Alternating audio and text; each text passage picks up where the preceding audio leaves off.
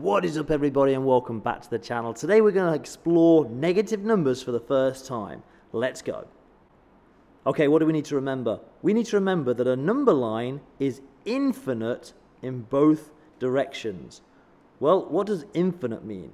Infinite means it can go on forever. So there's no end to the numbers.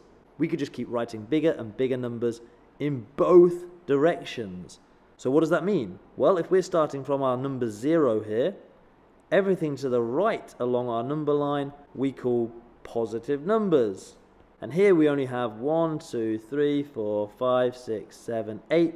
But what I'm saying is we could go on forever. We could end up with numbers as big as this. And I can't even say this number that I've just written on the screen.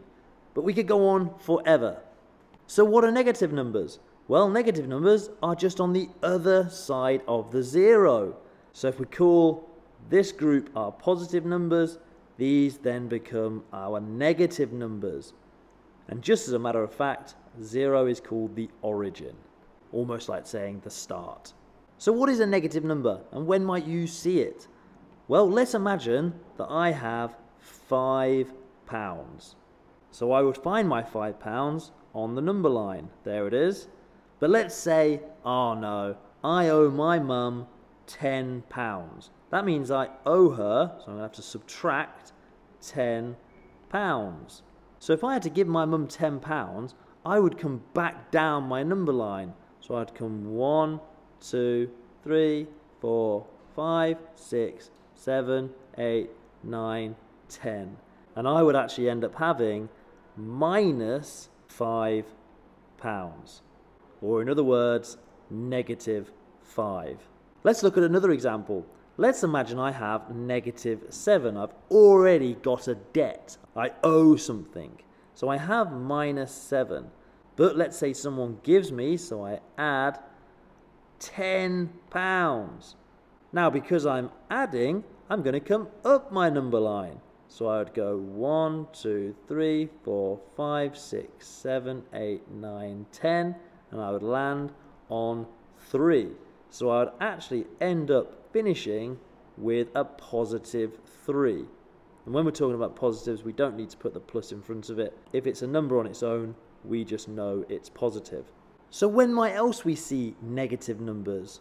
Well, what about the weather? Now, if you live in the UK, currently as I'm recording this, it's February the 9th, and I know, because my brother lives there, that it's snowing in the north of England, and the temperature is negative 4.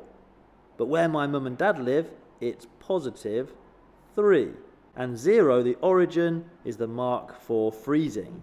So on a thermometer, my mum and dad's house would show 3 degrees, but my brother's house would show minus 4 degrees, colder than freezing. Let's do one more example. Let's say I started already owing. I owe 2, so I'm on negative 2. Now this time, let's imagine I have to give more away, so I'm going to subtract 5. Which way along my number line am I going to go this time?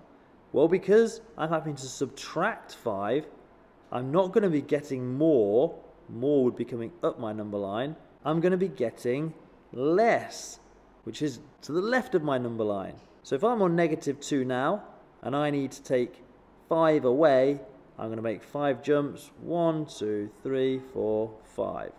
And I would end up with negative 7. So what do we need to remember about negative numbers?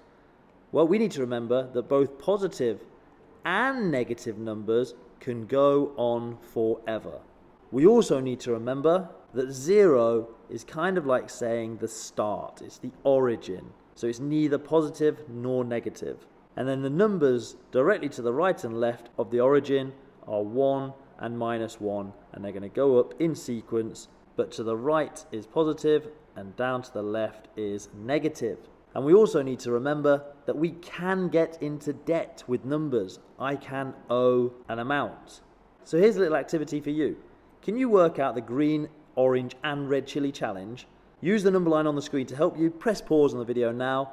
Good luck. And there you go. That is a brief introduction to negative numbers. There's lots we could learn about negative numbers, but this was just an introduction.